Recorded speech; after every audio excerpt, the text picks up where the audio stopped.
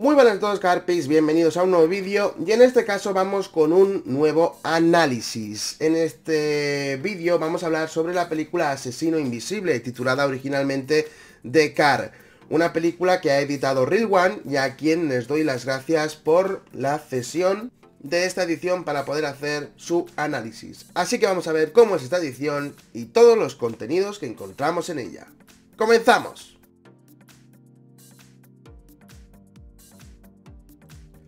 Pues vamos con el slipcover de la edición, como podéis ver ahí tenemos a la calavera, al coche protagonista de la película en la parte inferior, asesino invisible en el medio y edición especial, junto con los logos de Real One y Blu-ray en la parte inferior. El diseño de esta portada es el que Macario Gómez Mac hizo para su estreno en cines en el año 1977 y es diferente al que veremos en la caja Blu-ray a continuación, lo cual siempre es un detalle poder tener portadas diferentes en las películas. En uno de los lomos tenemos el título de la película, Asesino Invisible, junto con el logo en la parte superior de Real One y el logo de Universal, quien les ha cedido los derechos de distribución de esta película, y Blu-ray. En el segundo lomo, y como viene siendo habitual en las películas de Real One, han añadido una frase referente a la película, en este caso, un vehículo hecho para matar. En la parte trasera del slipcover tenemos al coche como protagonista, pero nos vamos a centrar en toda la información que podemos encontrar. En primer lugar tenemos la sinopsis. El sheriff Wade Parent, que es interpretado por James Brolin, debe hacer frente a la amenaza de un enorme coche negro que aterroriza a un pequeño pueblo de Nuevo México. Nadie sabe el origen de este coche, ni quién lo conduce o cómo pararlo. Es una máquina aparentemente indestructible que ha matado a varias personas y hay que encontrar el modo de detenerla antes de que siga sembrando terror. Tras esto nos viene todo el contenido adicional. En este caso tenemos un libreto de 32 páginas elaborado por Cineasia. Este libreto tiene el prólogo de Ángel Sala, carretera asfaltada en dirección al infierno.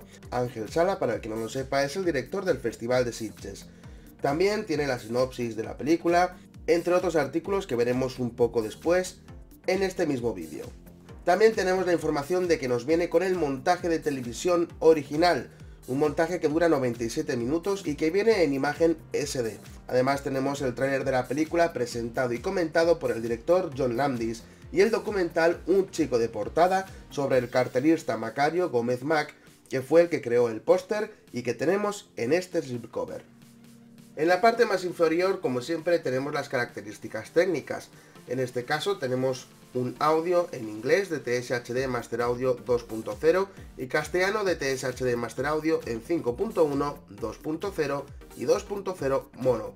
Y esta es la portada del Amarai, como veis en este caso viene con una caja Amarai redondita en color negro para hacer contraste con los colores rojos y morados que podemos ver en su portada. En ella en la parte superior tenemos a la calavera que ya se veía en el slipcover, además de a los protagonistas de la película y el coche que aparece en toda la parte inferior de esta caja Amarai. Después finalmente tenemos el logo de Real One y la firma del autor de esta portada. El lomo, como podéis ver, viene el título de la película, además de el logo en la parte superior de Real One y el logo de Universal y Blu-ray en la parte inferior. Vamos con la trasera. La parte trasera de este Amarai viene con la misma información que teníamos en la parte trasera del slipcover, pero esta vez con tres imágenes sobre la película y al personaje protagonista, y no me refiero al coche, sino al humano, eh, con más presencia y más protagonismo. Fijaos, por ejemplo, en el detalle de la sangre, al remarcar los contenidos extras, y el detalle de los neumáticos arrastrando también sangre de los asesinatos. Un gran detalle. Si abrimos la edición nos encontramos con el disco y dos pestañas donde va este libreto de aquí que mostraremos un poquito más adelante. Pero por ahora vamos a centrarnos en cómo es el disco. Como podéis ver es un disco con fondo negro donde el coche también es protagonista y está destacado por unos tonos blancos que la verdad es que lo hacen bastante amenazante. Como veis toda la caja Amarai en completo es negra. Y ya finalizamos con el libreto que hemos comentado a lo largo de este vídeo, el libreto de 32 páginas, como podéis ver, comparte la misma portada que con el Amaray, Asesino Invisible, el coche abajo, los protagonistas en la parte superior y los logos junto con la firma del eh, autor de esta portada. En la parte trasera tenemos la frase que venía en el lomo del slipcover y el coche también similar a la contraportada que teníamos en el slipcover. Si abrimos un poco el libro por encima para no desvelar todos los contenidos, pues tenemos los diferentes artículos, imágenes, veis por ejemplo esta fotografía, fijaos por ejemplo en el detalle del coche para marcar el número de páginas y el prólogo que habíamos comentado, que podéis ver aquí, está escrito por Ángel Sala.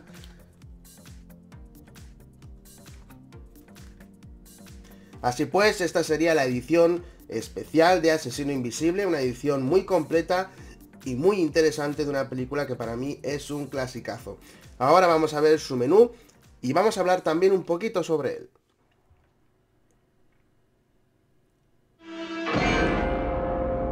Pues este es el menú de Asesino Invisible. Aquí tendríamos la película a la que podríamos acceder fácilmente. Después, en cuanto a los idiomas, tenemos 5.1 castellano, 2.0 en castellano, 2.0 en inglés y un mono 2.0 castellano con el doblaje original de cine.